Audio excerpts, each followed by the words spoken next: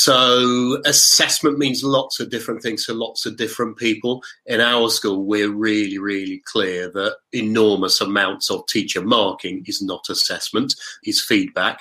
But where we want to assess, we want to really know what young people have understood and what they can do.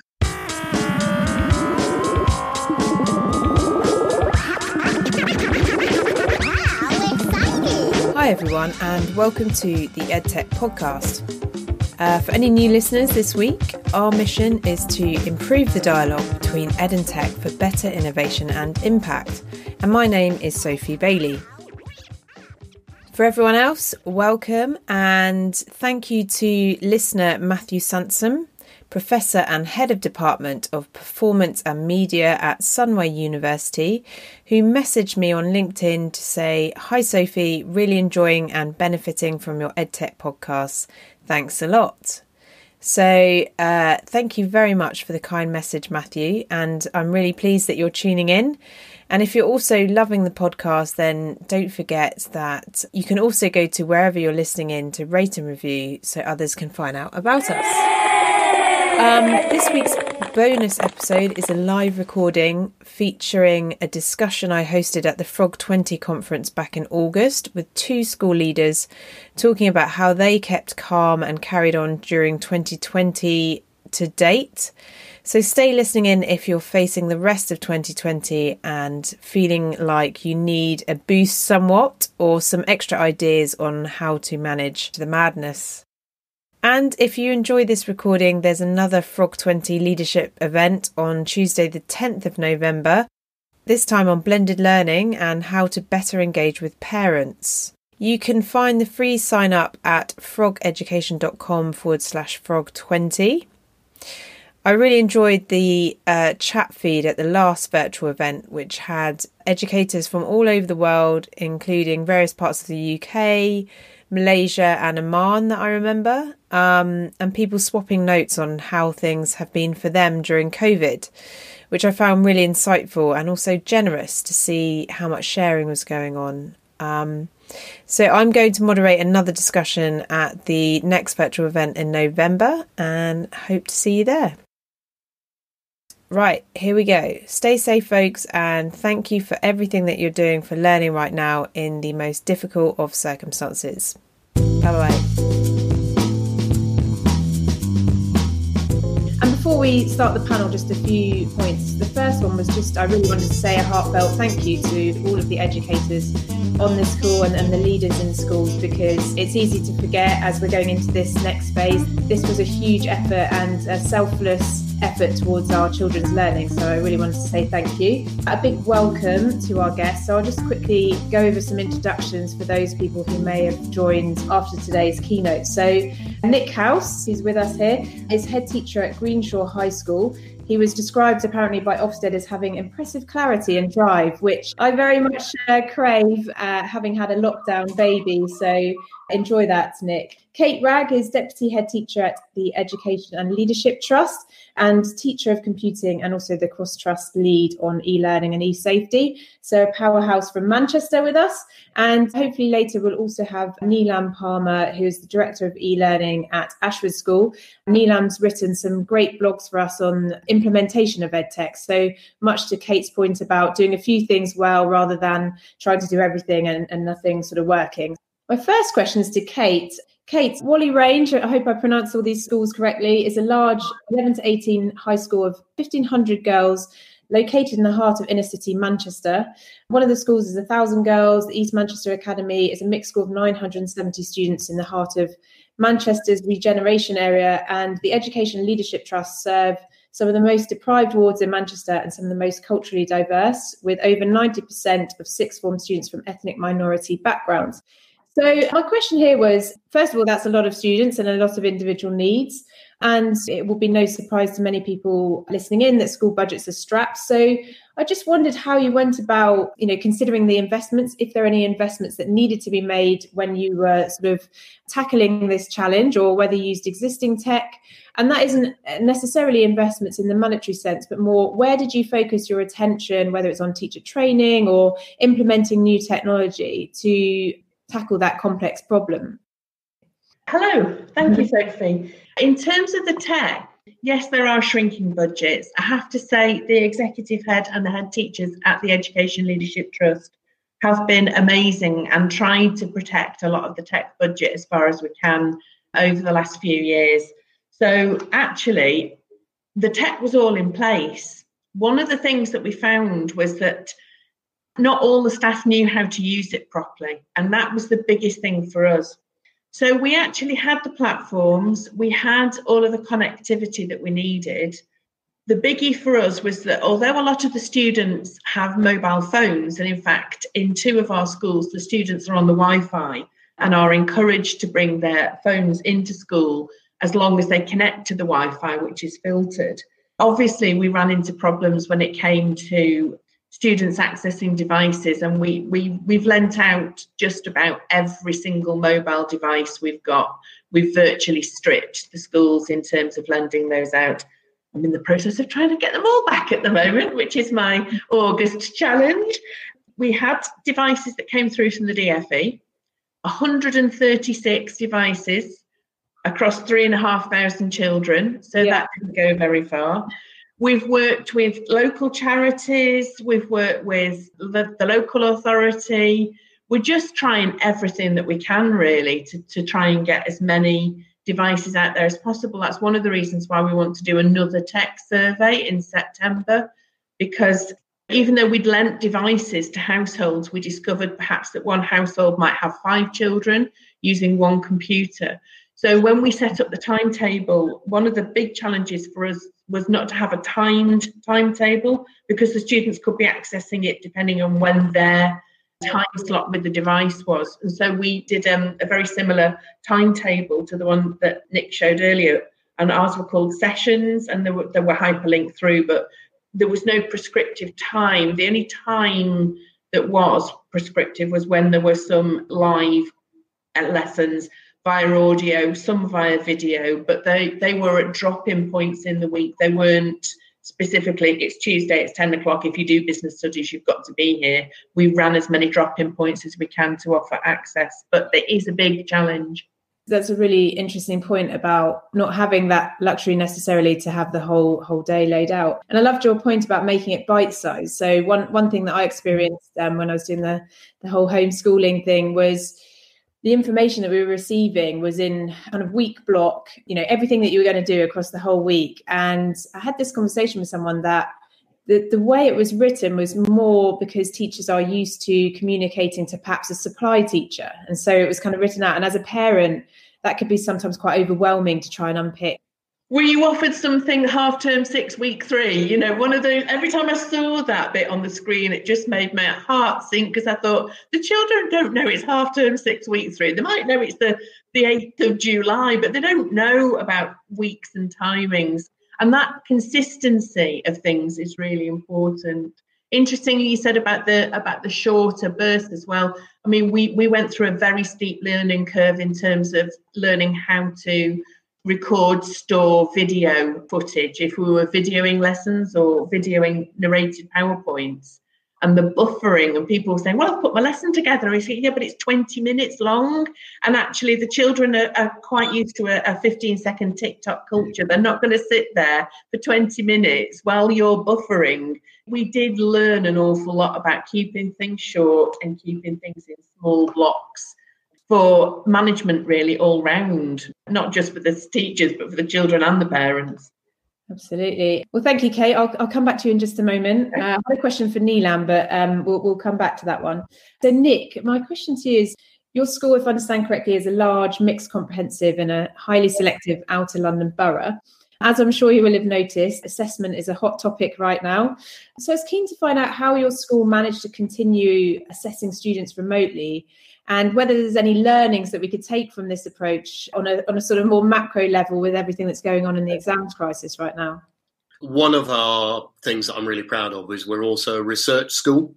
So we were identified by the EEF as having some skills and knowledge and being a useful school to work with other schools across South London and the South East. And that means when you talk to me about things like assessment, I'm going to get really fussy and really detailed and pedantic about it So assessment means lots of different things to lots of different people. In our school, we're really, really clear that enormous amounts of teacher marking is not assessment, is feedback. But where we want to assess, we want to really know what young people have understood and what they can do. And I think, if I'm absolutely honest, over the summer term, our greatest focus was not on assessment.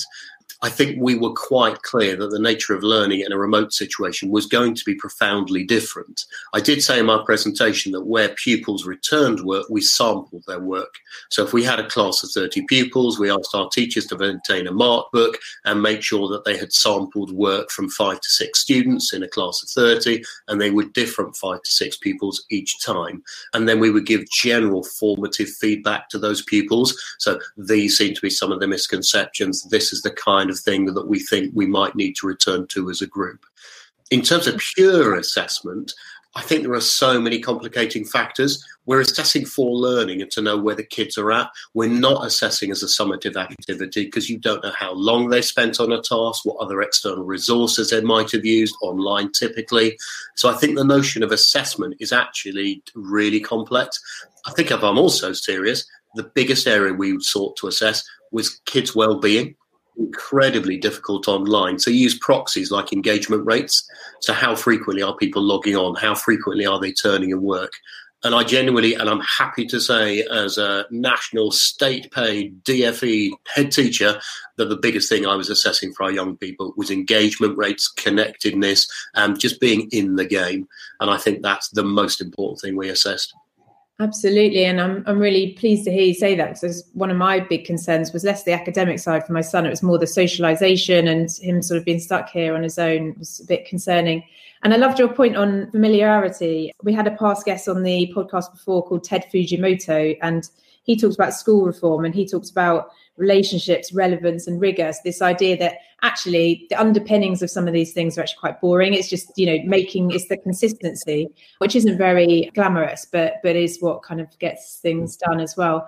But on the note of familiarity, before I move on, when our son came back, I was one of those parents that thought, okay, keep your school uniform on because you know then uh, you'll feel like you're doing your schoolwork and everything.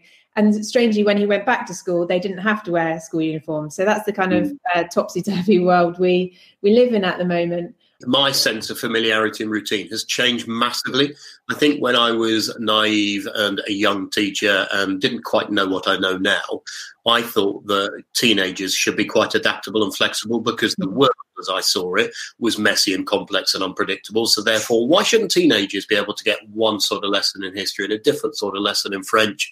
And now, as I'm also a parent of a teenager myself and a little older, I know that teenagers, particularly talking to secondary colleagues in this meeting, they've got a heck of a lot of change going on in their lives already around their own identity, around their emerging sense of self. So to actually to have some familiarity and routine is really reassuring. Yeah, it is quite dull, and yes, it's not some super breakthrough research PhD, but I think it's incredibly secure and helps young people feel stable and feel familiar. And I think teenagers need that as much as anything we can offer them, whether that's in the school or online. Absolutely. We, we did an episode before on self directed learning, and the, the question there was, you know, if teenagers don't have their prefrontal cortex completely developed, are they actually capable of doing all the things that we would expect out of self directed learning? And some, perhaps sometimes that's a bit of a big ask. So, another question for Kate. Your responsibilities at ELT also cover e learning and e safety. And we've heard on the podcast about terrible sort of safeguarding incidents during COVID as well as the sort of much documented attainment gaps expanding due to the digital divide. And you may have covered some of this in your in your last answer, but what's been your school's approach to these problems, and how can tech be used to ha- perhaps sort of tackle some of them as well, if it if it can indeed? Yeah, uh, that was one of the things that really worried me actually. Safeguarding uh, has to trump everything really in, terms, in schools. One of the things that worried me about the DFE offer, as wonderful as it was, there were lots of other offers from companies about lending kit. I actually asked somebody at the DFE in a phone call to them and said, Can you just Tell me though, you're offering these webcam enabled devices with internet dongles to the families who've got the least experience in terms of using these sorts of things safely? Well, you know, just generally from a work point of view as well as a safety point of view. What safeguarding points are you actually going to put in there? And I think that in the end, they did actually put in some web filtering. But I have to say, we have got some absolutely gifted technicians here, and my infrastructure manager is amazing and managed to work out a way so that every device that we lent still went through all of our filters and actually have some software on computers, laptops as well that, that do tracking. And that's true whether you're a brand new year seven or the executive head teacher, the same safeguarding software is on every single device in the school. Nobody's left out of that, that particular bubble, as it were a really hard message to get across. I mean, two things that strike me about teenagers. Interesting what Nick was saying about about teenagers. The other thing is a lot of people say, "Oh, teenagers use their mobile phones; they know what they're doing." But actually, a lot of teenagers don't know what they're doing with their mobile phones. They're really good at doing one or two small jobs, but they're not tech geeks. They're not forward thinking in terms of the damage that they might do. They're not they're not experienced enough, I suppose, to understand how important this impact is going to be on their life. I've spent just as much time during lockdown emailing Instagram, emailing some of the big companies, asking them to take down posts, asking them to take down fake accounts. And we just keep trying, we keep putting the message out there and we keep supporting the students and the staff when problems occur. But I would like to see some of the conversation change so that government are actually talking to some of these big social media companies. At the moment, if you're dealing with an issue with a young person on a social media platform, it's almost impossible to make headway with them. They're faceless, sort of black holes that take mm-hmm. emails and they just don't respond no matter what you say. And I, I, would like to see government tackling some of the big social media companies alongside some of the digital divide. Other than that, we just keep going with the lessons. We keep going, and more than anything else, we talk and we report. We were doing weekly contact, phone contact with all of our students as well to make sure that they were okay. Yeah, I, lo- I love the idea. It's such a simple idea, and, and I know when you scale that up, it's a lot of work. But calling people individually, whether you know on their birthdays or other moments to check in, is is massive. And I know I have friends that that have, have been doing that, and the work involved. So I know Neelam um, hasn't been able to make it, but one point she made on a previous podcast was that in this age of remote learning, where lessons aren't engaging, there's nowhere to hide because of the data that you've mentioned that you can collect in terms of perhaps people logging in and that kind of thing. So, through looking at some of the back ends of these platforms, have you been able to you know redesign some of your lessons or sort of iterate what you're doing? And have you got any lessons to share with people that are watching or listening in about talked about earlier making things smaller? If there's anything else like that that you'd like to share that would be great as well. All of us are stepping into a slightly unknown world and i think there are companies whose raison d'etre is online learning. So if you think about somebody like a maths provider like Hegarty Maths, for example, they've learned this stuff, they've done this stuff, and they've gone through this a number of iterations. Schools do not have individual expertise to yeah. be able either to create the, the platform and the infrastructure or the pedagogy and the really known things that hook kids in. There are things about the way that Hegarty is designed that are really smart. There are things about the way Tassomai, the science quizzing platform, is designed that are really smart. So we had to stumble and we had to make sense about what we were doing. One of the really, really good things was we went back to things like principles around teaching and learning. So the notion of what we call dual coding, that language, whether that's heard speech, should be backed up by visual representation. So an image on the screen should help reinforce the understanding that the young person gets of what's being said.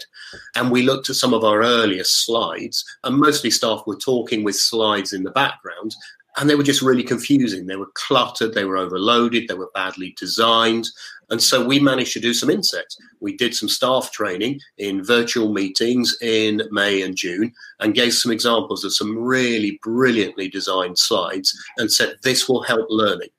Fundamentally, this will help really difficult concepts stick. And if we think it's difficult to teach difficult content when you've got an adult in the room that you can ask questions of, then amplify that by how difficult it is to learn in a remote setting. So that's one example of something that we learned about not our lesson design so much, more of our resource design and being able to take pictures and images of our most gifted teachers' resources and then share them with other people and say, we can all do this stuff if you really carefully think about it. And we've now got resources that will be good for time. So if we didn't have a lockdown for the rest of this school year, some of those resources would actually be revision resources and things we can start creating into a library of ongoing curriculum resources, especially where they've been really well designed and they're really fit for purpose. So yeah, there's an example of something that we've altered as we've gone. Fantastic. Thanks, Nick. Kate, do you have anything to add? Yeah, very similar actually. One of the examples I was going to give was GCSE Pod. We were setting some assignments, little things like a key question, which might be a multiple choice question, where again they've done so much thinking. You know, just to reiterate what Nick says, they've done a huge amount of planning and work behind the scenes. So they'll ask a question which is, on the face of it, a relatively simple multiple choice question where the right answer is obviously the right answer, but the wrong answers all pick up key misconceptions. They're not just randomly put in there, they're actually put in there to test if a misconception has occurred. You know, Nick was talking about assessment earlier, and really good quality assessment has to be crafted and it takes time to do that. You can't write something very quickly and really make sure that it gets to the nub of, of what you want to do. So that's why we've done an awful lot of sharing as well. So where people have put together questions, where they've put together lessons, where they've put together resources, where they've put together videos, they've shared, talked to the students. We've had staff sitting in with each other. When we started doing the, the live lessons, that staff sat in with each other, partly for a bit of solidarity, but also partly to learn how to do things with each other.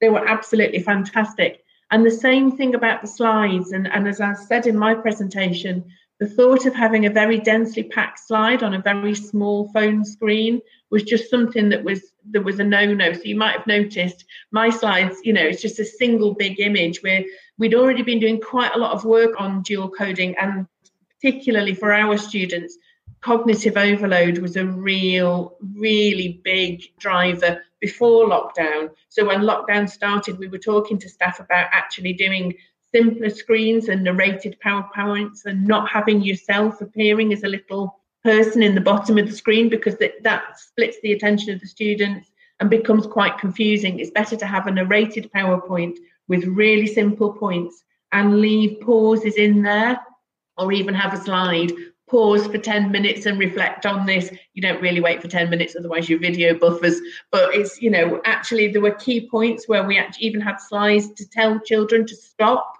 and think and actually do some reflecting before they moved on to the next bit. It's been a development of our teaching and learning. It's not new but it's developed it very rapidly in a way that we were hoping to go. It's just developed it in a uh, you know in a different time scale for us both of you, thank you so much for adding um, a bit of extra insight with this discussion. And thank you very much.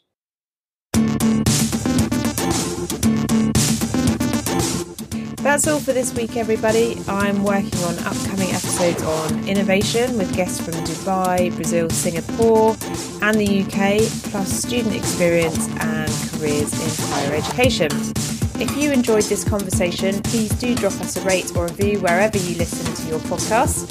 Take care. Bye bye.